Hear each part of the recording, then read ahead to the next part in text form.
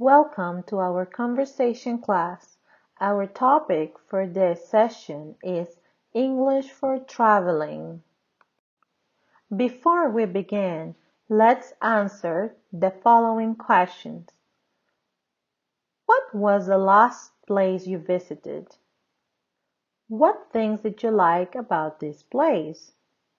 What did you learn from this experience? What is cultural diversity? Culture is the patterns of learned and shared behavior and beliefs of a particular social, ethnic, or age group. Cultural diversity is the existence of different cultures in a society. How can we show respect towards other cultures? Read about their customs before traveling. Then, if something is different to your culture, show respect.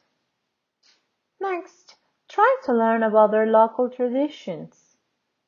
One thing you can do is greeting the way they do it in their culture. This is one way of showing respect.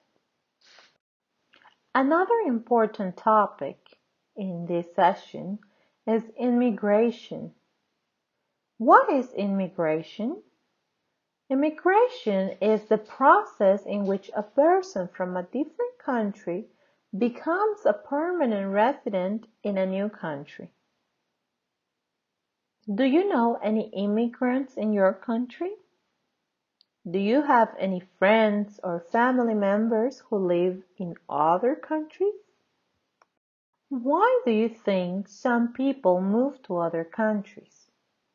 Some reasons are job opportunities, academic purposes, international conflicts or war, and family, among others. Would you like to move to a different country? Why or why not? Wrap up.